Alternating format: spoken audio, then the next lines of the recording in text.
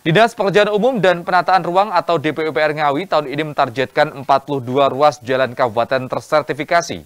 Proses sertifikasi pada ruas jalan ini juga baru dilakukan tahun 2021. Dinas Pekerjaan Umum dan Penataan Ruang DPUPR Ngawi memiliki pekerjaan rumah untuk menyelesaikan proses sertifikasi terhadap aset ruas jalan kabupaten. Pelaksanaan sertifikasi ruas jalan sendiri baru dilakukan sejak tahun 2021 kemarin. Kepala Bidang Bina Marga DPUPR Ngawi Rahmat Fitrianto mengatakan, sertifikasi tersebut dalam rangka untuk mengamankan aset yang dikelola negara, dapat memenuhi prinsip tertib fisik, tertib administrasi, dan tertib hukum. Di samping itu, keberadaan aset milik pemerintah daerah juga menjadi perhatian oleh Badan Pemeriksa Keuangan BPK, tidak terkecuali terhadap aset ruas jalan milik Kabupaten Ngawi.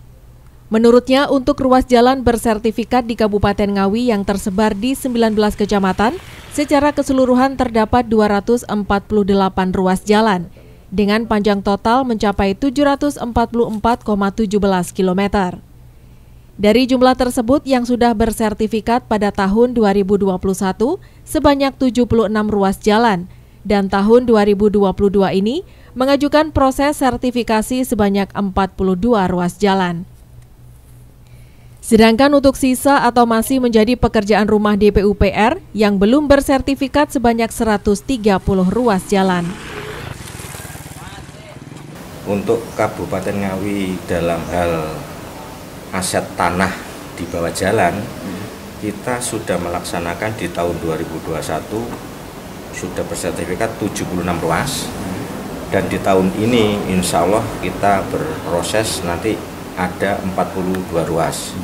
Sehingga kekurangan yang 130 ruas ini kalau kita konstan insya Allah dua tahun lagi bisa selesai.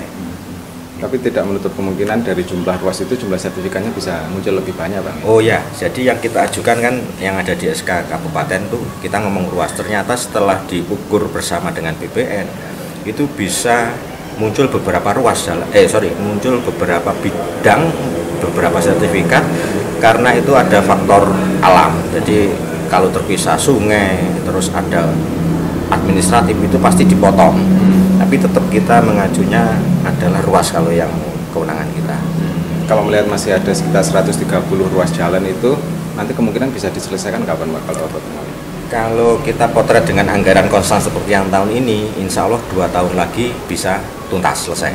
Kalau kebutuhan uh, anggaran untuk penerbitan sertifikat itu nyampe berapa biasanya? Yang tahun ini ada sekitar 700 juta. Hmm. Itu yang kita ajukan 42 Dua ruas. Gitu. Terus nanti yang sisanya ini kemungkinan kalau dianggarkan satu miliar gitu ya bisa dua tahun. Hmm. Bisa segera diselesaikan. Ya. Rahmat menambahkan, Pemkap menargetkan untuk sisa ruas jalan yang belum tersertifikasi ini dapat diselesaikan dalam waktu satu atau dua tahun ke depan. Hal ini melihat penyesuaian alokasi anggaran yang ada untuk proses penerbitan sertifikasi. Itu Wahyu, JTV, Ngawi.